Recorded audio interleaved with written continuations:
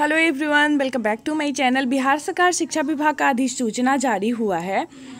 प्रारंभिक शिक्षकों की नियुक्ति परामर्श समिति की अध्यक्षता में होगी। इसी को लेकर यह अधिसूचना जो आपको स्क्रीन पे दिख रहा है, ये जारी हुआ है। विभागीय अधिसूचना संख्या 709 दिनांक 21 आठ 2020 द्वारा प्रारंभिक प्रक्षेत्र के लिए बिहार पंचायत प्रारंभिक विद्यालय सेवा नियुक्ति प्रोन्नति स्थानांतरण, अनुशासनिक कार्रवाई एवं सेवा शर्त नियमावली 2020 अधिसूचित की गई। उक्त नियमावली का गठन भारत के संविधान के अनुच्छेद दो सौ तैतालीस छः ग्यारहवीं अनुसूची, मत संख्या सत्रह तथा बिहार पंचायती राज अधिनियम 2006 की धारा बाईस, सैंतालीस सह पठित धारा 146 के अधीन प्रदत्त शक्तियों का प्रयोग करते हुए दिया गया। पंचायत समिति द्वारा ग्राम पंचायत के नियंत्रणाधीन प्रारंभिक शिक्षकों की नियुक्ति प्राधिकार का अनुशासनिक प्राधिकार क्रमशः उक्त नियमावली के नियम दस सात क एवं नियम दस सात ख के तहत गठित समिति है जो निम्नवत है, ठीक है? प्रखंड नियोजन समिति, पंचायत समिति के प्रमुख अध्यक्ष, पंचायत समिति के शिक्षा समिति का एक चयनित सदस्य, पुरुष अध्यक्ष होने पर चयनित सदस्य महिला होगी। सदस्य अनुसूचित जाति, अनुसूचित जनजाति का एक प्रखंड स्तरीय पदाधिकारी सदस्य, प्रखंड शिक्षा पदाधिकारी सदस्य कार्यपालय पदाधिकारी, पंचायत समिति सदस्य। पंचायत नियोजन समिति ये जो था, ये प्रखंड नियोजन समिति का था, ठीक है? यहाँ पंचायत नियोजन समिति का है नीचे, ग्राम पंचायत का मुखिया, ग्राम पंचायत के शिक्षा समिति का चयनित सदस्य, पुरुष अध्यक्ष होने पर चयनित सदस्य महिला होगी। पंचायत समिति का वह सदस्य जिसके क्षेत्र का अधिकांश भाग उस पंचायत में पड़ता हो। पंचायत अथवा पंचायत के निकटस्थ माध्यमिक, उच्च माध्यमिक विद्यालय का जिला शिक्षा पदाधिकारी द्वारा मनोनीत एक शिक्षक, ग्राम पंचायत के सचिव। बिहार पंचायती राज अधिनियम 2006 का संशोधन बिहार पंचायती राज संशोधन अध्यादेश 2021 के द्वारा किया गया। इसके तहत उक्त अधिनियम की धारा 14 की उपधारा मतलब सब कुछ इसमें दिया गया है किसमें क्या चीज़ है, ये सब उतना मैं नहीं पढ़ूँगी, नहीं तो वीडियो बहुत ज़्यादा लंबा हो जाएगा। तो आप वीडियो को पॉज करके, वीडियो को जो चीज़ें इसमें दी गई है, उसको देख सकते हैं, जो चीज़ लिखा गया है यहाँ पे, उसको देख सकते हैं। एक बार मैं दिख, ये कर देती हूँ, ग्राम पंचायत परामर्शी समिति में अध्यक्ष। ग्राम पंचायत के भंग होने की तिथि से को कार्यरत मुखिया उपाध्यक्ष ग्राम पंचायत को भंग होने की तिथि से कार्यरत उपमुखिया, सदस्य ग्राम पंचायत के भंग होने की तिथि को कार्यरत ग्राम पंचायत सदस्यगण सचिव ग्राम पंचायत समिति, ठीक है? इसके बाद पंचायत समिति, परामर्शी समिति, अध्यक्ष पंचायत समिति के भंग होने की तिथि को कार्यरत प्रमुख उपाध्यक्ष, पंचायत समिति के भंग होने की तिथि से कार्यरत उप प्रमुख सदस्य पंचायत समिति के भंग होने की तिथि को कार्यरत सदस्य, कार्यपालक पदाधिकारी, प्रखंड विकास पदाधिकारी।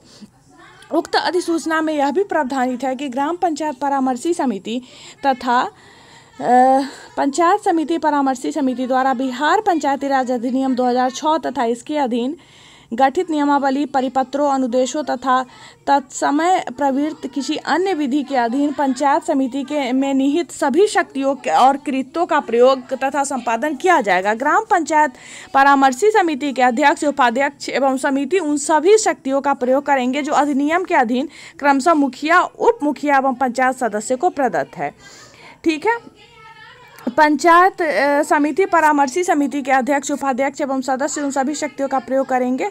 वही चीज़ें हैं यहाँ पे सॉरी बिहार पंचायती राज अधिनियम 2006 के अधीन ही बिहार पंचायत समिति बिहार पंचायत समिति विद्यालय सेवा नियुक्ति प्रोन्नति स्थानांतरण अनुशा, अनुशासनिक कार्रवाई एवं सेवा शर्त नियमावली 2020 का गठन किया गया। इस नियमावली के नियम तेईस एक में प्रदत्त शक्तियों का प्रयोग करते हुए यह निर्णय लिया जाता है कि बिहार पंचायती राज संशोधन अध्यादेश दो हज़ार इक्कीस एवं पंचायती राज विभाग बिहार सरकार की अधिसूचना संख्या सत्ताईस दिनांक नौ छः दो के द्वारा गठित पंचायत समिति, परामर्शी समिति से संबंधित उक्त प्रावधान, उक्त नियमावली 2020 के संदर्भ में प्रभावी होगी। अतएव उक्त नियमावली के नियम दस सात क एवं नियम दस सात क के तहत गठित समिति की अध्यक्षता क्रमशः ग्राम पंचायत परामर्शी समिति के अध्यक्ष तथा पंचायत समिति परामर्शी समिति के अध्यक्ष के द्वारा की जाएगी। उक्त व्यवस्था त्रिस्तरीय पंचायती राज संस्थाओं का आम निर्वाचन संपन्न होने के पश्चात स्वतः समाप्त हो जाएगी। तो ये जो चीज़ें, ये जो अध्यक्ष के द्वारा ये सब जो की जाएगी, जो भी जो हम लोग देखे हैं तो ये जब उक्त व्यवस्था पंचायती राज संस्थाओं का जो निर्वाचन हो जाएगा, संपन्न हो जाएगा, उसके पास, उसके बाद ये स्वतः जो है समाप्त हो जाएगी। उल्लेखनीय है कि प्रारंभिक विद्यालय के लिए शिक्षक नियोजन हेतु वर्ष 2019-20 में प्रकाशित विज्ञापन के आलोक में अपेक्षित कार्रवाई तत्कालीन प्रवृत्त बिहार पंचायत शिक्षक नियमावली 2006 समय समय पर यथा संशोधित के प्रावधानों के आलोक में संपादित की जा रही है। बिहार पंचायत प्रारंभिक विद्यालय सेवा नियुक्ति प्रोन्नति स्थानांतरण अनुशासनिक कार्रवाई एवं सेवा शर्त नियमावली 2020 के नियम 24 में यह प्रावधानित है कि तत्कालीन प्रवृत्त नियमावली के अधीन किया गया कोई कार्य या की गई कोई कार्रवाई का नियमावली के अधीन किया गया कार्य या किस, की गई कार्रवाई मानी जाएगी। मानो वे सभी इस नियमावली के अधीन किए गए हो। अतः उक्त प्रावधान प्रारंभिक विद्यालय के लिए वर्तमान में जो शिक्षक नियोजन हो रहा है, नियोजन हेतु की जा रही कार्रवाई के संदर्भ में भी प्रभावी माना जाएगा। उक्त निर्णय पर माननीय मंत्री, शिक्षा विभाग का अनुमोदन जो है, वो प्राप्त है। ठीक है? तो ये मतलब इसमें शिक्षा, माननीय मंत्री जी का भी अनुमोदन प्राप्त है। बिहार के राज्यपाल के आदेश से अरसद फिरोज, उप सचिव शिक्षा विभाग का ये जारी हुआ है लेटर।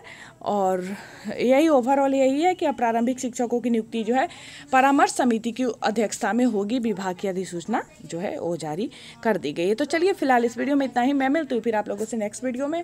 शिक्षक शिक्षा से रिलेटेड तमाम तरह के न्यूज़ को मेरे चैनल पर दिखाया जाता है। तो जो भी लोग चैनल पर नए हैं, पहली बार वीडियो को देख रहे हैं तो आप चैनल को सब्सक्राइब कर सकते हैं, क्योंकि शिक्षक शिक्षा से रिलेटेड न्यूज़ को लेकर मैं अपने चैनल पर आते रहती हूँ। वीडियो पसंद आया तो लाइक करें, हमारे साथ बने रहे वीडियो देखने के लिए। बहुत बहुत धन्यवाद।